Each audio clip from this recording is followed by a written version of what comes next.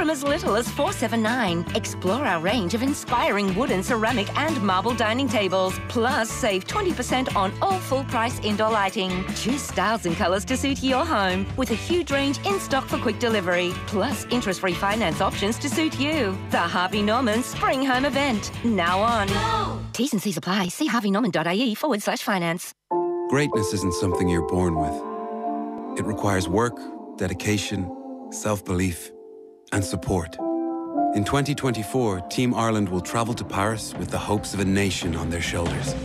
And Permanent TSB will be supporting them every step of the way. So when our Olympians and Paralympians take to the world stage, let's come together in raising a nation to greatness. Permanent TSB, proud sponsor of the Irish Olympic team and the Irish Paralympic team. Could you tell the difference between a cancerous mole and a non-cancerous mole? At Dermview Dermatology, we can and we do. We are now accepting new patients so you can get access to Dermview's largest group of consultant dermatologists within days. Find us at dermview.ie or free phone 1800 911 665. Dermview Dermatology, treating everything on your skin from acne to skin cancer. Ireland's largest consultant dermatology group. Fancy heading stateside? Fly to North America with Aer Lingus from only 169 euro each way as part of a return trip. Now's your chance to take in some of Boston's breathtaking sights, absorb the many cultures of New York City's boroughs, or chase thrills at some of Orlando's iconic theme parks. And with free changes on every flight, you can book with confidence. Book now at aerlingus.com. Let's fly. Offer subject to conditions and availability. Travel up to June 15th. Book by April 11th. Fare differences may apply. Football on off the ball. With Sky. It's the Old Firm Derby this Sunday. Don't miss Rangers versus Celtic. Live only on Sky Sports. All right, it is that time on a Thursday, just gone half seven. John Giles is on the line. Evening, John. Evening, Nathan. So, a decent week for the Republic of Ireland. They left it very late against Lithuania, a much changed side, but Troy Parrott scored the winner deep in injury time. That followed on from the draw against Belgium on Saturday, world number one team. Uh, probably one of the better performances of Stephen Kenny's reign so far. I know you were at the Aviva on Saturday. What did you make of the performance? I thought it was good, Nathan. Yeah, it went behind, as we know, uh, but uh, good pace about it, good tempo, uh, good goals, uh, and a very, very good match. And I, I thought probably probably the best performance I think I've seen from the Irish team under Stephen. Okay. Was it just the the pace that they played at? Was it the way they set up? What was it that, that enabled them to play that well? Well, first of all, you've got to have the setup, but you have to have the players, mm. uh, Nathan. And you know the players did well. There were there were some outstanding performances. Uh, young uh, Ogbene, yeah, very very good. What a promising lad. And you're talking about attitude. You're always looking for attitude. Well, I'm always looking for attitude, and and this kid has a great attitude. You know, he'll he'll chase, he'll run, he score his goal, uh, and he's he's he's a real capture for us. I, I just read in the paper there. Uh, I think it was today. He plays in the back four or something. He plays as a wing back, yeah, with with his club. Yeah, amazing to be able to. Uh, I mean, one of the hardest things in football is to play up front. Mm. And you normally see players. I've seen lots of players in my time start off as forwards and then go backwards to to the old, you know, the old wing halves or even fullbacks. Uh, but I saw very, very seldom where somebody came forward, like this lad is doing now. He's doing a really, really good job, and uh, you know, he's up front as we as as we know, and like he's got Callum uh, Robinson beside him. Mm you know, Robinson is a good goal scorer, Nathan, but he, he you know, he doesn't work all that hard. Right. Uh, you know, he wouldn't be assisting him now up front and doing the running around. Uh, but he's he's a lad that you needs he needs to be scoring goals to justify his position up front. Whereas you get a lad uh, like Oban, uh, runs around, chases, does it for the team, and that. So he's. Um, he's he's a, he's a good uh, discovery for us. So you you'd have Ogbene ahead of Robinson when you're picking the three for those attacking positions. Definitely, definitely. Now it, it, that might it might sound harsh on uh, Robinson, but it, it, like usually when you get uh, a pair like that, and the goal scorer, which is, is it would be regarded as Robinson. You know, you can you you live with him, not chasing around it. But this kid is scoring goals as well. Yeah. You know, so he's doing the two jobs. But I think uh, Robinson is only doing the one job, which is a very important job of scoring goals. Uh, but if I, was picking, if I was picking one from the two, it wouldn't be Robinson. Uh, that work rate as well that Ogbene has to go alongside the goals and the impact he can have in the final third. That work rate, it feels with him it's a it's a little bit infectious as well. That the the players around him are going to have to work that bit harder when you see the effort that he's putting in. Oh, definitely. Yeah, it's it's an example to everybody else to do what needs to be done. Because as we know in football, there's two things in football that we know of: you either have the ball or you don't have the ball. And obviously, the, the, the, you know, when you have the ball, you use it as constructively as you can. And when you haven't got it, it, it, it, it it's you have, you've got to get it back. I mean, it's fifty percent. You know, you hear about tactics all the time. We do this, we do that. Now, you know, the main tact, the main two tactics in football, in my opinion, is when you have the ball, you're obliged to be uh, to to be as good with the ball as you possibly can, and when you haven't, everybody is obliged to get it back. Now, as you know, with a lot of players who play up front. Uh, they don't see that as part of their obligation to do so. Uh, because they say, well, we're scoring goals. I mean, Ronaldo would be a perfect example of that. You know, Ronaldo's never chased around getting the ball back. we scored goal after goal after goal, as we know. But the ideal situation uh, is is to, for the forwards to score goals and chase around. You don't often get them. But as I say, with Ogbog, I keep getting his name mixed up. Ogbene does that. He chases around. He's very good and scores goals. He's he's, he's a really really good uh, player for us. He looks like he should be playing at a higher level than League One, anyways. Well, he could well do. You know, I mean, he's he's, he's playing in a team that's doing well at the moment, isn't he? Mm. You know, so he might. Uh, I mean, if anybody watches him, you could say, well, this is this kid, this kid's a winner. They'll definitely go for him. I'd be surprised if, if, if somebody in the higher divisions or the higher divisions don't go for him. Stephen Kenny, as we expected, went with his strongest starting 11 for the game against Belgium, made six changes for the match then on Tuesday. So maybe we'll read more into the Belgium game and go through some of the players and their performances and where you see them fitting in. Uh, Jason Knight started that game. If you think back to November, he came off the bench against Luxembourg, made a made a big impact. Uh, yep. Wayne Rooney's been raving about him at Derby. He got the start uh, as part of that front three, but maybe a bit deeper at times than the other two. What did you make of him? he's good, uh, and he's good. He's a good footballer. Um, it's it's not difficult to fit into that position, um, but um, you know he, he, he did his bit. Uh, I think he can get better, and with more matches, uh, I think he will get better. Mm. he was very good. Cullen was very good. Yeah, you know, he's a lad now who's on the go all the time, trying to do something. Good attitude, uh, and that's your starting point with, with, with any team. Nathan, you know, What's his attitude like? What's he doing? Is he having a go? Because every player, no matter who he is, doesn't play well in every match they play, but they try to, and, and I think that's what that's the, the the thing that came out mostly from me from the match on on uh, against Belgium. That you know there was nobody not having a go, and they haven't got the ball, getting it back. Uh, it was it was a good all round performance, and uh, I, I thought uh, Jeff Jeff Hendrick was the best game I've seen him playing in for a long time, and he did his bit as well.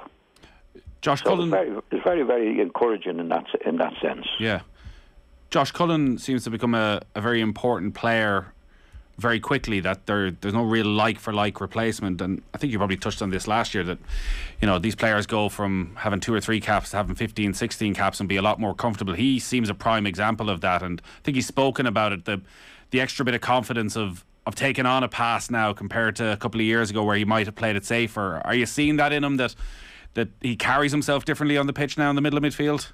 Yeah, I think so. You know, we, we've always put that down to experience.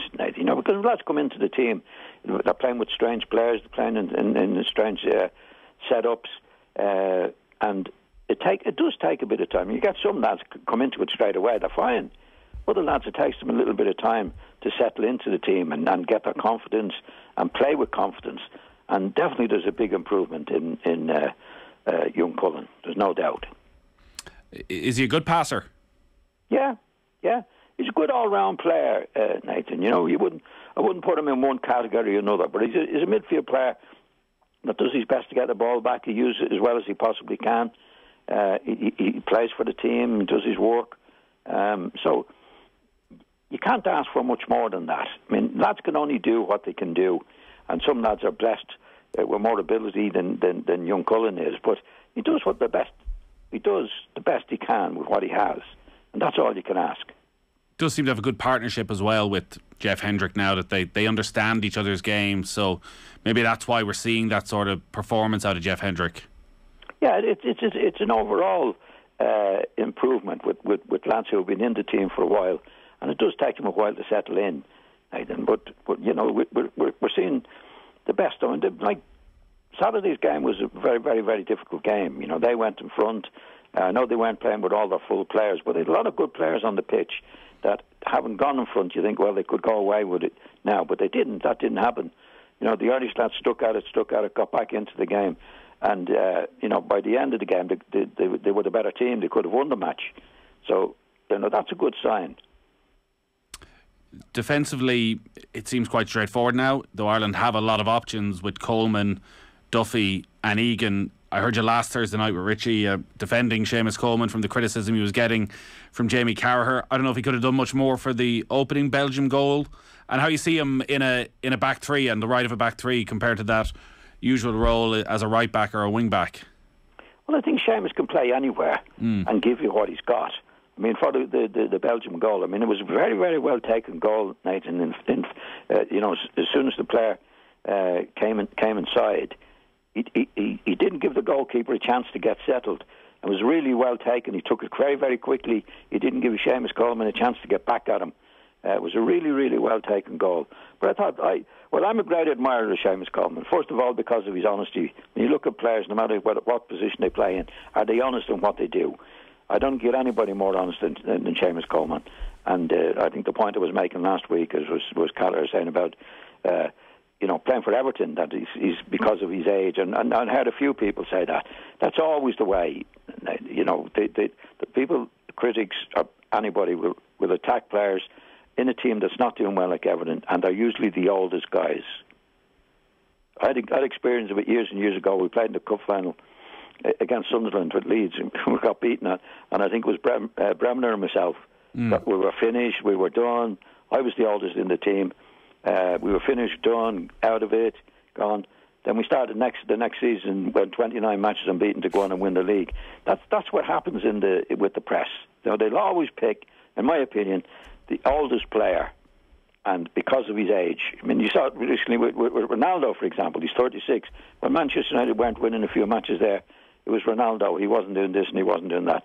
That's always the way. But with Seamus Coleman, I'd, I'd play, if I was picking a team for my life, Seamus Coleman would be in it. Right.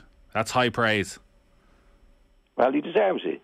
I mean, he's always been an honest. Like I thought he was outstanding in, in, in uh, against Belgium the other day, and he was playing in, in, in, in the in the back three really. Mm. You know, as we know, right right back is his best position. But it it give you it give you a show anywhere, Seamus. He's just as honest as honest as can be. Really, really top class lad. How did you uh, take the criticism after was it the seventy three cup final against Sunderland? Yeah, yeah. Uh, okay, and I knew I knew it wasn't true. I was we had a bad day. We got a bad defeat. Uh, uh, it was it was you know we were we were there for for for for, for getting a hiding in the press, which we did. Um, but when you're you, like after the match, we knew we knew we didn't play well. Yeah. You know, Sunderland beat us. We didn't play well, but luckily enough, with, with being good pros and like Don, okay, after we got over that, he said, right, next year we go again, and we'll try and go through the season unbeaten. So in other words, it wasn't down sometimes if the spirit's not right, you lose a match like that, and everybody's getting onto each other, and you really collapse. Nathan, yeah. we have to take it on the chin, keep quiet until the game started again next season, which comes around very, very quickly. Win or win or lose, especially when you win, it comes around quickly. You've got to go again, which we did. Uh, in fact, I think by the end of the season, Sunderland didn't get promotion, and we went on to win the league. That's the game. It goes from one year to the next, but you have to respond in the right way.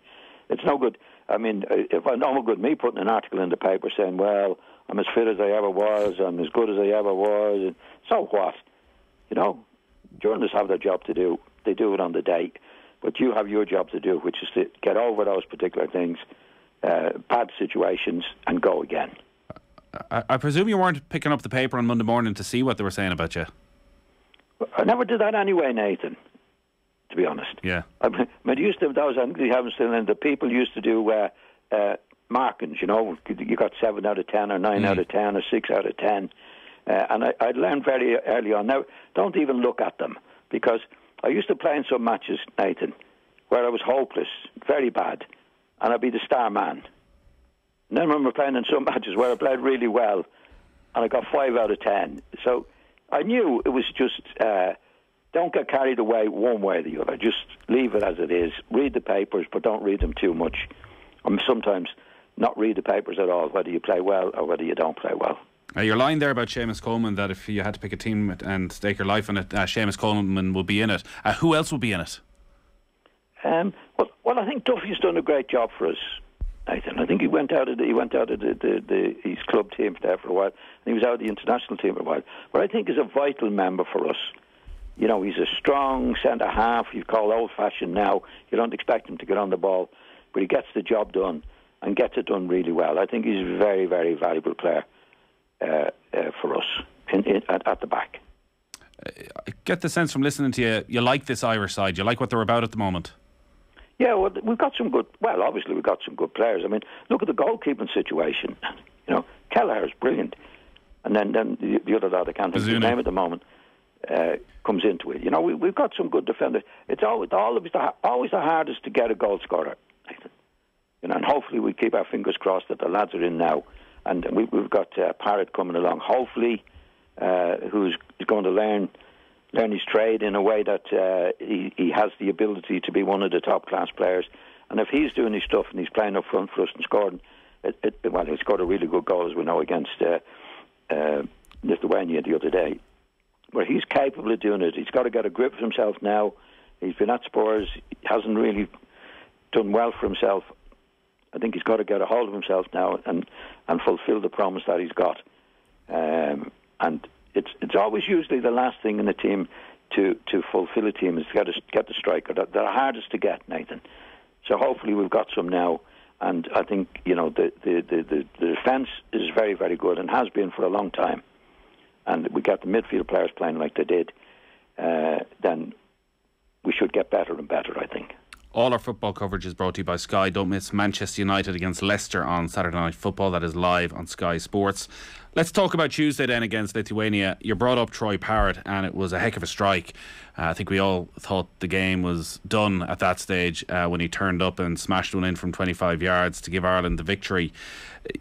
Like we were all guilty, maybe of getting carried away about his potential a couple of years ago when he made his debut and he was at Tottenham and he was playing in pre-season and you wonder could he be next in line for Harry Kane? Could he be the first sub? And never quite happened for him. A couple of load spells. He's spent the season in League One. It's you know he's in a bit of good form at the moment, but there's been times where it haven't gone well for him.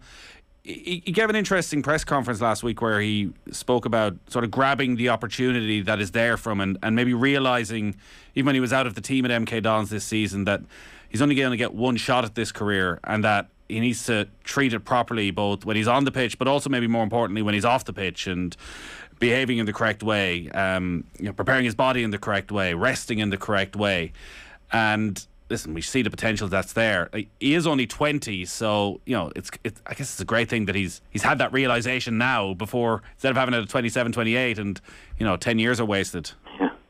Well, it'll be far too late then, Nathan. Now, the, the, the, the future will show whether he has got a grip of himself. See, you get a lot of talented lads, uh, Nathan, as we know. And I've seen so many, you know, in the past uh, that say, oh, if only, if only did this, and only has this.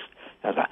The, the main thing about football, or to be a professional footballer, or indeed anything else, is to put the effort in. That's your starting point. You don't even have to have a lot of ability to try as hard as you possibly can. And what happens with lads, I think, like uh, uh, uh, Troy Parrott, they're, they're very, very talented lad, and they think they have them made before they even start, uh, Nathan. And I hope now he gets a grip of himself before it's too late to go on and be the player he should be. And the only way he'll do that is to work at it, behave off the pitch, and work on the pitch. You know, that's your starting point. You don't have an awful lot of ability to try hard I mean, one of the greatest examples of that would be Roy Keane. You know, Roy Keane wasn't a blessed individual uh, like like Scholes or Beckham or, or Giggs, lads he played with. But by God, he had the attitude to do it. And he was able to dominate those lads that he played with because of his attitude. And that's mainly when you don't have the ball to be able to chase around, get after people. Now, it, it, like Parrott, even though he's playing up front, or people like him, they can still work very, very hard, Nathan, when they haven't got the ball and be, be to the team. But what I, what you, you you find there is that he wasn't looking after himself. He hasn't been looking after himself. Now, hopefully, he's got it in his head. This doesn't last very long, Nathan. Careers go very, very quickly. I've seen it happen so many times with lads who start off very well and then they, they get ahead of themselves, they get a big head, they, they're living it up and all that carry on. And then before you know it, their career is finished. And I think this young lad, Parrott, has a lot of ability, Nathan, but he's got to now get a real grip of himself to become the player that he should be. And that's dedication, training, all the various things that you have to do. To make it in football is very, very hard work, Nathan. Yeah, and it continues to be hard work. No matter how many years you play, you go back pre-season training after 10 years, and it, you still have to put the same effort in again and again and again and again. And that's where that's the attitude he's got to get in his head. I mean, he's had a little, he's had a spell at Spurs, and he's had to move out of it. I think if he was really, really putting it in at Spurs, he would still be there, probably in the first team. So he's got to make the best of his ability. Yeah, listen, it's it's very hard, I'm sure, when you're 17 and everyone's telling you you're the next big thing, not to uh, believe it. And look, I think well, you have to you have to do it, Nathan. I mean, it, it, it, it, it's it's something that some lads have naturally. I've seen lads who outstanding players uh, at 17, and everybody's telling them how good they are, and they were good and stayed good and continued to work at it. You know, definitely, I've, I've seen loads of them. I mean, there was young lads coming through at Leeds when I was there, Eddie Gray, Peter Lorimer, lads like that. They were dedicated even at that age to do what needed to be done. And lads do go astray. And I hope from young Parrott's sake that he does get a grip himself now and fulfills his ability. It, because it, it, it's a terrible waste for any lad, I think, not to do what's needed to be done. And before you know, you're finished, and you say, "What a mess I made of that." It, he has an opportunity now to come back in and fulfil the um, the, the, the ambition or the, the ability that we've seen in him. He has the ability, there's no doubt. Now just work at it and do what's needed to be done. All right, well, hopefully we'll see the very best of Troy Parrott over the coming years in an Ireland jersey. John, great stuff as always. Thanks, Nathan. Talk to John Giles next Thursday, as always, here at half seven. If you missed any of that, you'll get it on the OTB Sports app. Football on off the ball. With Sky. Don't miss Man United versus Leicester on Saturday Night Football. Live only on Sky Sports. Could we survive on Mars? 30 seconds and counting. Where are all the Irish dinosaurs? Why do planes leave trails in the sky? These are just some of the questions answered on Newstalk's podcast, Future Proof, with Jonathan McCrea. Researchers are now